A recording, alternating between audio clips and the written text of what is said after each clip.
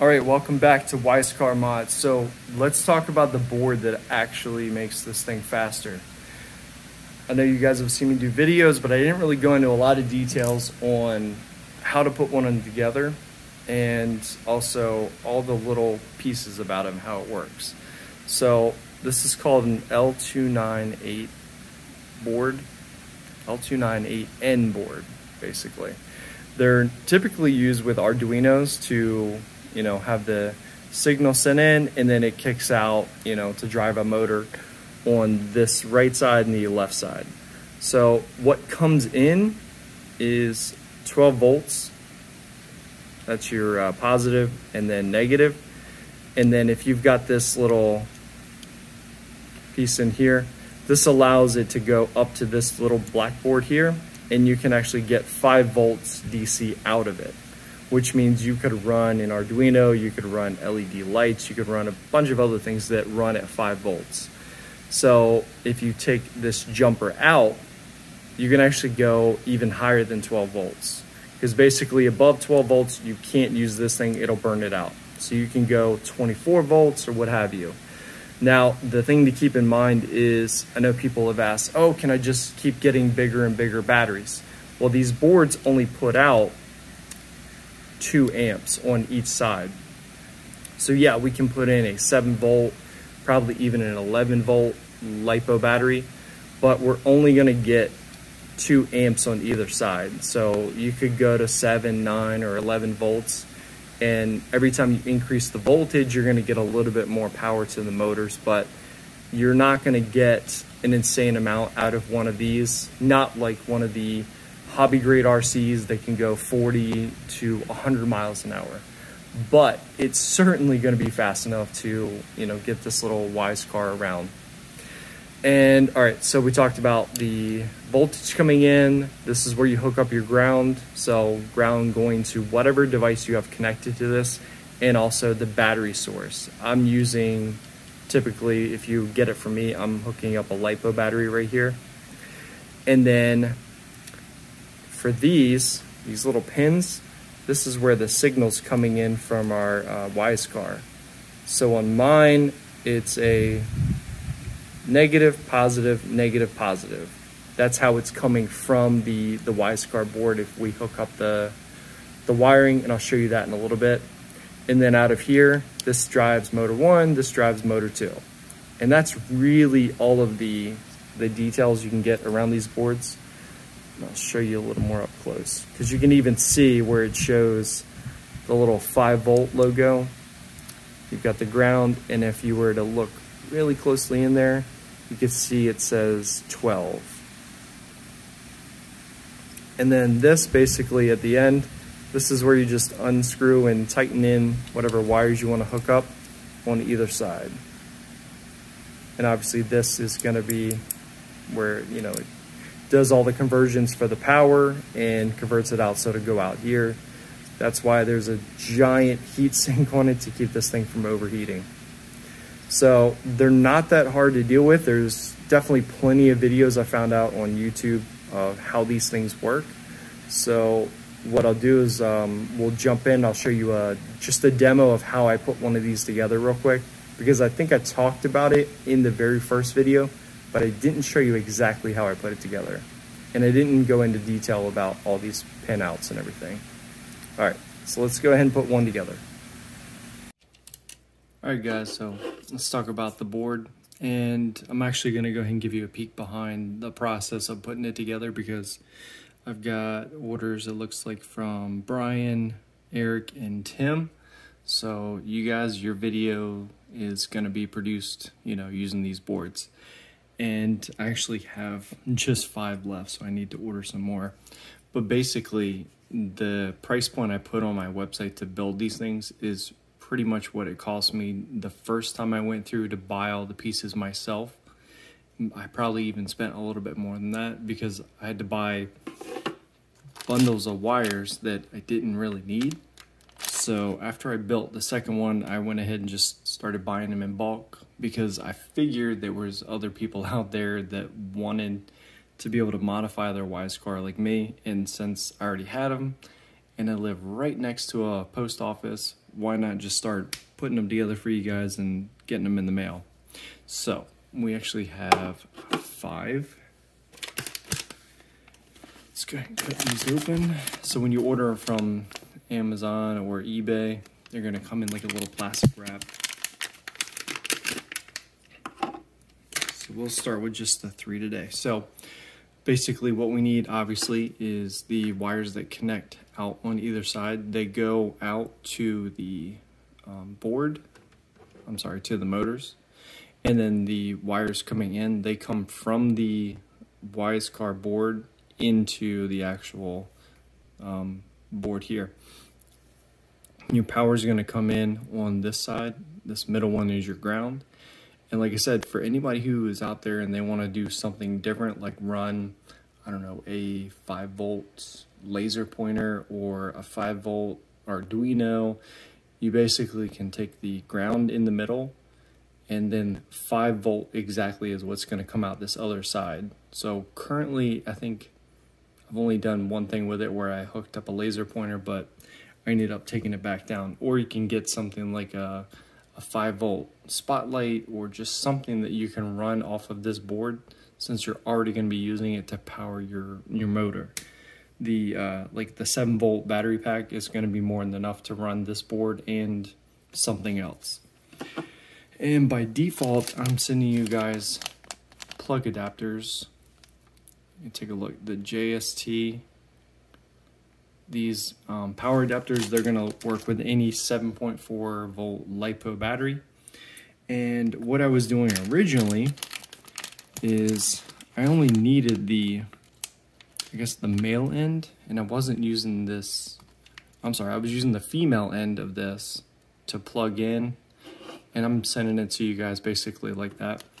But since it came with a male and a female end, what I was doing originally was plugging this in here and then I would cut and solder the other wires. What I ended up finding is some actual wires that have the female end on both sides. So I could plug it in the board and plug the other side's gonna plug into your Wyze car. Then that saved me a lot of time on having to cut and solder wires.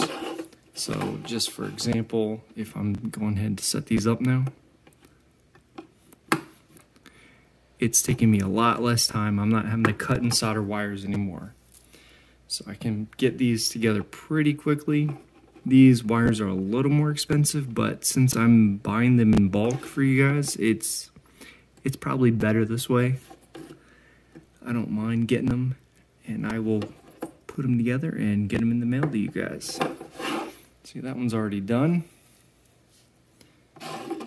And after I've done it enough times, I know, I know that the black goes on the left, the right goes on the, red goes on the right.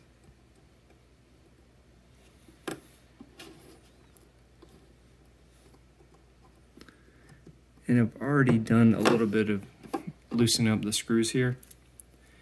And I'll make sure I put the link in the description to all of these if you want to go ahead and order, you know, a one or two pack so that you can do it yourself instead of ordering.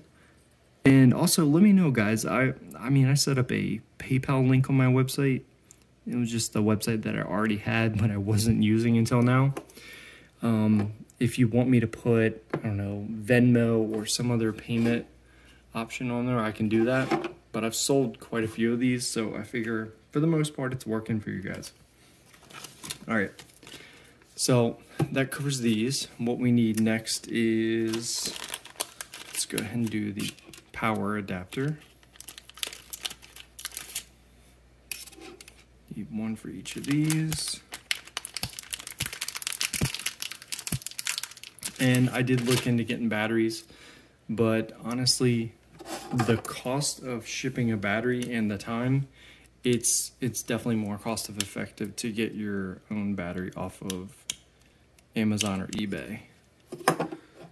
Especially when you order apparently a lithium battery, they can only be shipped via ground, so it also takes a lot longer. So Amazon will get it to you pretty quickly from whatever the closest location that has it. All right, again, this is pretty simple. You're looking at the board, see the ground, the G and D there in the middle, and then there's a plus 12 volt on the other side. You can run more than 12 volts, but you have to remove the jumper, like I was saying earlier. And then you won't be able to run a 5 volt item off of the additional ports here.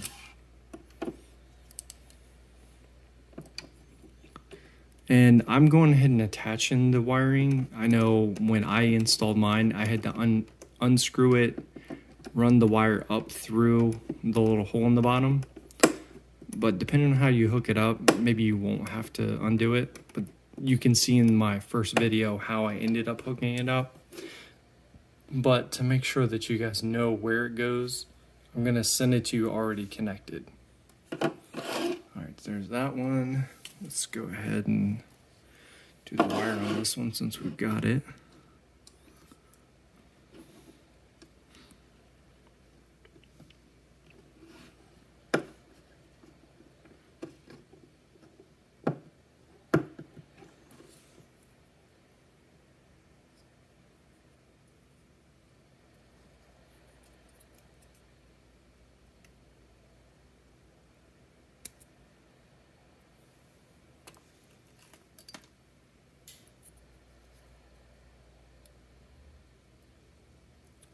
Just gonna plug this one in off camera, it's a little easier. Then we'll jump back and we'll do the two motor connectors.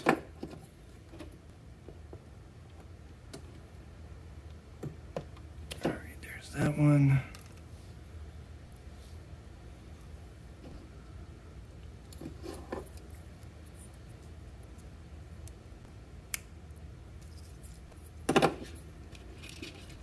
And then um, what I could do is you need a ground wire that runs from here to the Wyze car because when you hook up a separate power source for this board to work, it has to have a ground wire connected. What I'm gonna do is I've got the soldering iron over here and I'm gonna go ahead and attach this ground wire and we're gonna just solder it on. That way, if you get it from me, it's already done. You don't have to worry about it.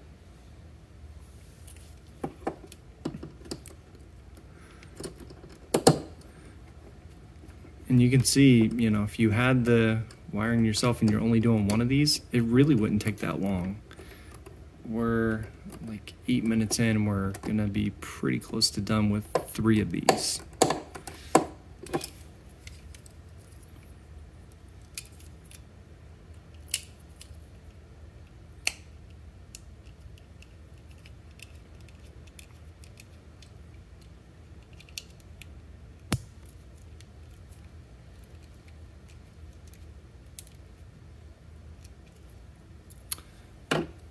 Right.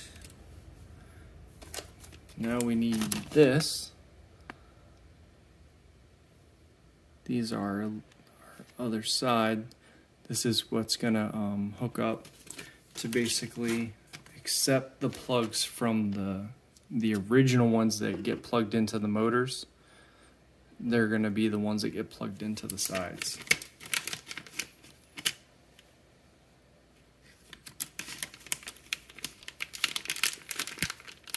And I need two for each.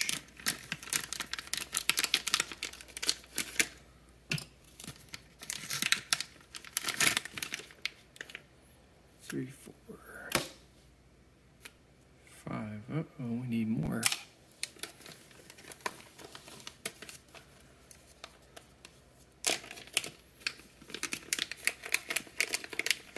Looks like I'm gonna have to place an Amazon order tonight. There we go. There's six. Great. All right, and like I said, I've done these enough times that I know that the the direction is black on the bottom over here, red on top, and then it's the opposite on the other side. So on the other side, the black will be on the top and red on the bottom.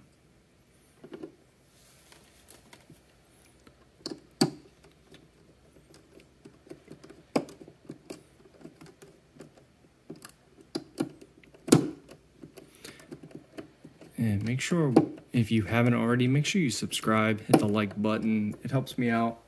We've got over a thousand subscribers already just from doing these. So there's clearly a lot of people that are interested in seeing, you know, modifications and me try to tear these things up.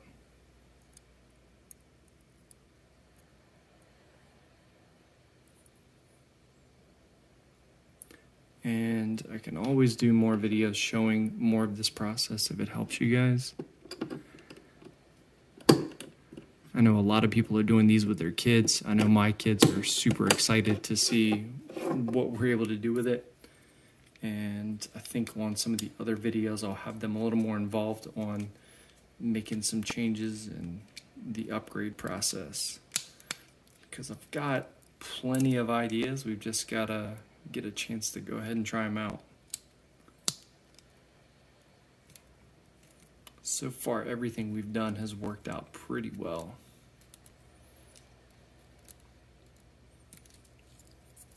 All right, so one of you three that ordered your Wyze board, it is done and ready. Um, I will go ahead and show you. So, order them. I now have these green mailers. You're gonna get it in that mailer. And then again, make sure you go back to uh, gormansolution.com.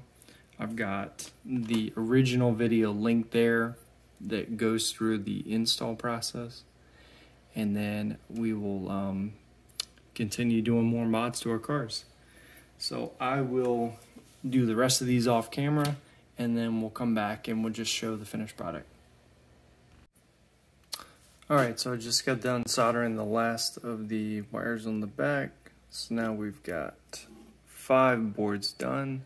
And again, these are the L298N boards. Normally they're used with Arduinos, but essentially here's what we're doing. So plug your battery in right there.